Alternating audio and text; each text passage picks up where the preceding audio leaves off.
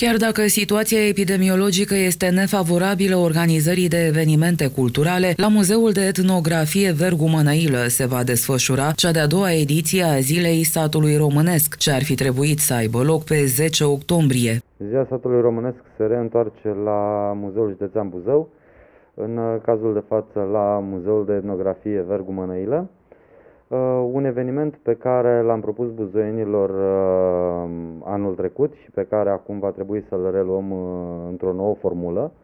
Un eveniment care într-adevăr se desfășoară cu oarecare întârziere pentru că a trebuit să-l readaptăm față de ce gândisem inițial la noile condiții, la noua situație referitoare la răspândirea virusului SARS-CoV-2.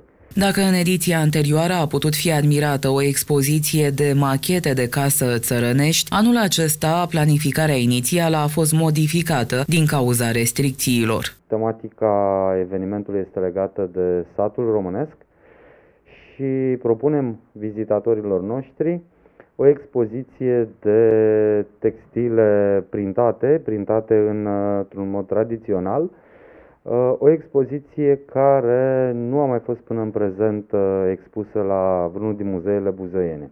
Materialele decorate prin tehnica tradițională de vopsire cu plante tinctoriale și prin eco-printing vor fi expuse într-o expoziție temporară. Asta înseamnă că la Vergu Mănăilă vor fi expuse materiale textile și carte textilă uh, printate cu sau printate prin intermediul tehnicilor uh, vechi de batere, de imprimeu, cu substanțe obținute, cu culori obținute doar din uh, plante și elemente naturale.